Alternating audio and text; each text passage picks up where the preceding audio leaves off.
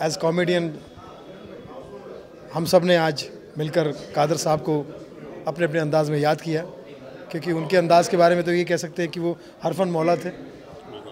हर गुण संपन्न थे, सर्वगुण संपन्न जिसे कह सकते हैं। गुण भी जो है मतलब उनका कदरदान था।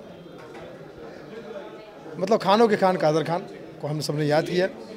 और साथ साथ में कई लोगों ने उनके चुटकुले अंदाज को भी याद किया, कुछ उनके दोस्तों को, कुछ पुराने किस्सों को याद किया, उनके काम करने के तरीक़ों को याद किया, उनके लेखन के तरीक़ों को याद किया, इंसानियत को याद किया। कुछ लोगों ने शिकायत भी की इंडस्ट्री की शिकायत की और इंडस्ट्री की शिकायत अब हम सबको करीब करीब सेम होती जा रही है कि जब किसी लेजेंड का स्वर्गवास हो जाता है या कोई इस दुनिया को छोड़ के चला जाता है तो हमारे बॉलीवुड के लोग उस पर जो रिएक्ट करते हैं बड़े बड़े कलाकार, मैं समझता हूँ कि वो गलत है, क्योंकि अभी तक बहुत बड़े बड़े कलाकारों का कुछ ट्वीट या कोई ऐसा मामला आया नहीं है। कादर खान साहब के लिए इससे पहले मोहम्मद अज़ीज़ साहब के लिए भी ऐसा ही था। सब बड़े बड़े कलाकारों के लिए साथ में काम कर चुके हैं। तो ऐसे में मुझे लगता है कि मेन बॉलीवुड को देखता कौन है? बॉम्बे से बाहर के लोग, हिंदुस्तान। हिंदुस्तानी सिनेमा का चाहता दर्शक उन तक ये बात पहुँचेगी तो आप स्टार लोग, आप उनके नज़र में दो कोड़ी के हो जाओगे। ऐसे मत कीजिए। आप फ़िल्म भी बनी है, मगर साथ में इल्म भी बनी है।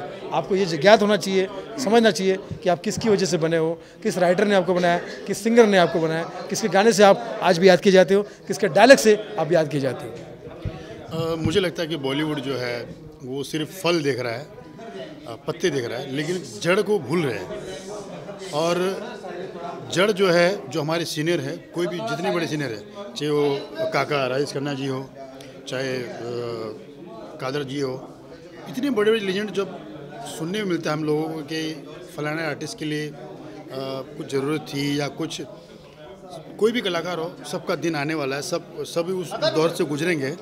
ऐसा नहीं कि कोई हमेशा ऊपर होगा सबको नीचे आना है। लेकिन जब आप नीचे रहते हो उस वक्त अगर आपको प्यार मिल जाए, मैं पूरी बॉलीवुड को कहने जा रहा हूँ, बॉलीवुड जब आप देखते हैं कि जो कलाकार इस दुनिया में अब खोया जा रहा है मतलब अगर उसको थोड़ा सा प्यार मिल जाए तो वो कुछ साल और जी सकता है। ऐसे ही कुछ कलाकारों के साथ हुआ है, जैसे कि अभी आज काफ़ी लोगों ने कहा, कादिर जी के बारे में, कि उन्हें अंत में प्यार नहीं मिला। तो ये बहुत ही बॉलीवुड के लिए बहुत शर्मनाक की बात हुई है। अगर मेरी आवाज़ सुन रहे होंगे तो जो कलाकार अब जिन्हें मौका नहीं मिल रहा है जिसे लोग भूलते जा रहे हैं, उसे याद कीजिए, उन्हें बुलाइए, उनके साथ बैठिए, कुछ भी उनसे काम कराइए लिखाइए, विखाइए, जो राइटर हो कोई भी हो, क्योंकि कलाकार तब ज़िंदा रहते थे जब उनके साथ पूरा बॉलीवुड खड़ा होगा। और मैं उम्मीद करता हूँ कि बॉलीवुड ऐसी गलती दोबारा ना करे, उन्हें प्यार मिले। और कादर जी के लिए बस ये कहूँगा कि भगवान उनकी आत्मा को शांति दे। और सुनील पाल जी ने जो ये बेड़ा उठाया आज। बहुत सारे लोग आए रजा जी आए मतलब पूरी इंडस्ट्री जो चाहे थे वो नहीं आए, मगर जो लोग आए, इससे पता चलता है कि ये लोग कादर जी को बहुत प्यार करते हैं। और एक शुरुआत की है सुनील भाई ने तो मैं चाहूँगा कि इस, ऐसी बरकरार है मतलब कोई जाए नहीं मतलब ऐसा मौका नहीं है लेकिन जब भी ऐसा कभी खड़े होने का मौका मिले तो सुनील जी और सारे कलाकार तो रहेंगे, और भी कलाकारों से विनती करते हैं कि आप भी जुड़े, ताकि उस कलाकार को, आत्मा को शांति मिले।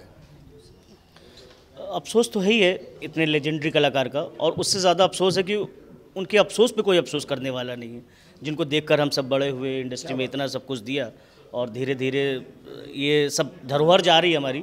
अब ये धरोहर मिलनी नहीं है तो एकजुट होकर इन पर अफसोस तो कर सकते हैं, कम से कम इतना कर सकते हैं, क्योंकि इन्होंने ही सिनेमा बनाया है, और बहुत कुछ दिया है। एक से एक जो लेजेंडरी हैं, इन्होंने ही दिया है। तो बस यही अफसोस है कि कम से कम अफसोस दिल से ज़रूर करें तो बड़ा अच्छा लगेगा। और इससे हमारे जो गैर फिल्मी लोग हैं, उन पे भी हमारे परिवार का इंडस्ट्री का अच्छा इंप्रेशन जाएगा कि नहीं, आपस में ही अगर इनके दुख या कोई ऐसी मुसीबत आती है तो सब एकजुट होते हैं। तो प्लीज़ मैं चाहूँगा इंडस्ट्री के तमाम लोगों से कि जब ऐसा कोई लेजेंडरी या कोई ऐसा कलाकार हमें अलविदा कह रहा है, ये दोबारा नहीं आने हैं तो एक ऐसा आयोजन ज़रूर करें, जिसमें हम सब अपना दुख प्रकट कर सकें। और आज मैं बहुत शुक्रगुजार हूँ सुनील भाई का, कि जो दुख था, ये सिर्फ़ टीवी पे देखा था, अंदर था, और घुटन हो रही थी, कैसे व्यक्त करूँ।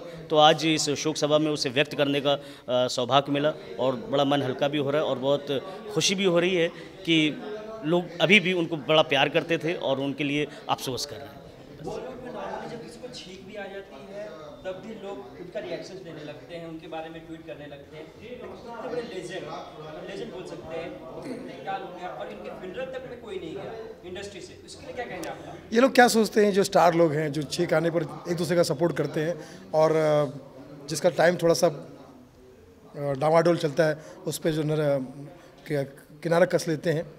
तो इन स्टारों को लगता है कि बॉलीवुड में आपस में बना के रखो। इन्हें नहीं पता कि बॉलीवुड को देखता है दर्शक। हिंदुस्तानी सिनेमा का रियल दर्शक।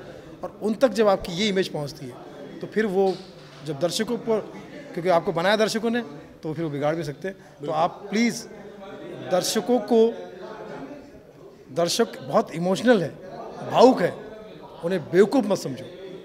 अब बॉलीवुड ने क्या किया है? बॉलीवुड के स्टार सो कॉल्ड स्टारों ने ये समझना शुरू किया है कि हम ही हम सब होशियार हैं और बाकी सब बेवकूफ़ है। फॉर एग्ज़ाम्पल अभी जैसे आपको पता ही होगा कादर खान ने कई लोगों को बनाया। अब आपको बोलने की ज़रूरत नहीं है। कई कॉमेडियंस बनाए कई कॉमेडियन को सुपरस्टार बनाया कई लोगों को एंग, एंग्री में बनाया कई किसी को सुपरस्टार बनाया किसी को कॉमेडी सब सब आपको पता है।